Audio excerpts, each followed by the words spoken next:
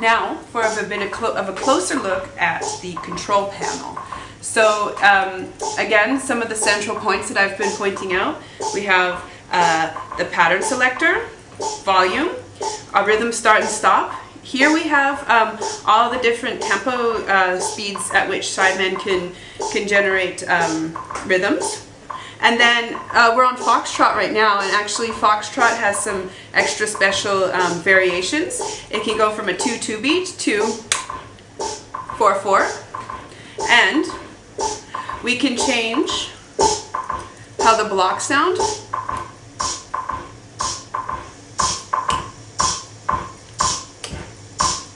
And we can do the same with cymbals.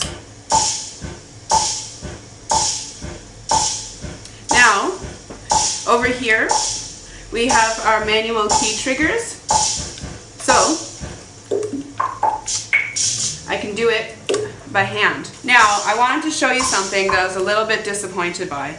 Um, let me give you a sample.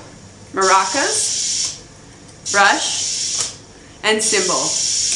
If you ask me, they all kind of sound like angry snakes in a bag or something like that. Um, and I even cross-referenced with some other sideman, and it turns out that this is just normal, um, which is kind of annoying because we, we would think that we would get three different sounds, but it's the same thing. It's just one of them sounds like it's quieter than the other. So it's a bit of a cheap trick on the side of Wurlitzer to make it seem like Sideman had more features than it really does.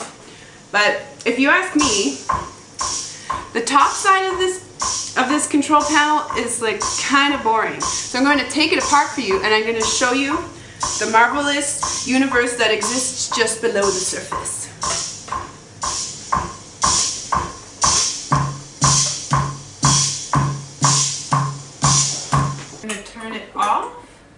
And take it apart.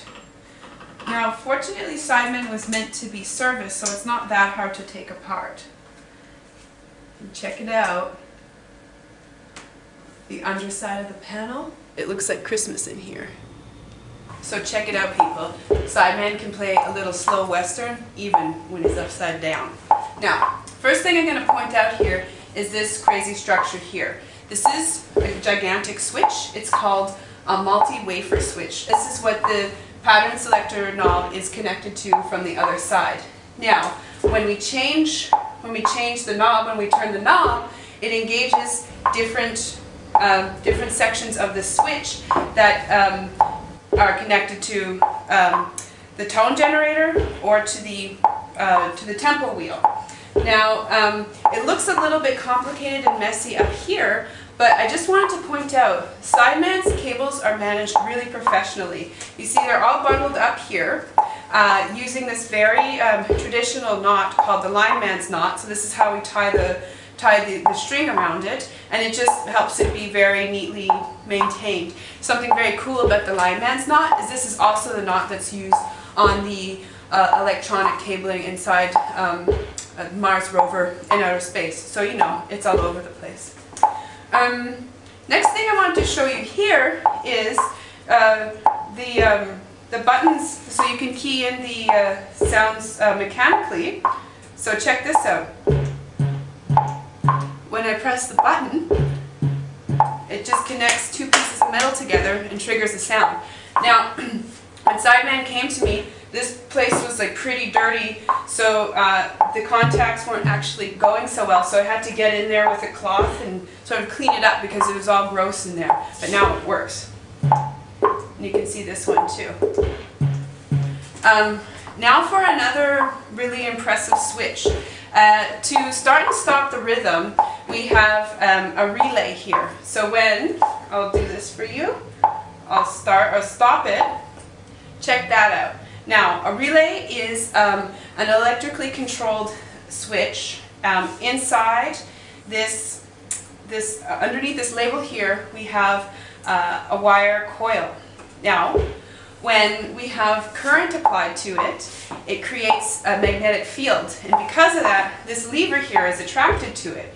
And when that happens, connected to this lever is a little bar. And then this bar lifts up all of these little connectors on this really crazy looking uh, multi-contact switch. And this is what, what engages the, um, the tempo wheel. And to be honest, I've like stuck my head in a lot of old machines and never have I ever come across such a weird looking um, switch before. So it's pretty special and I'm happy to see that Sideman has something like this. Oh yeah, one more thing.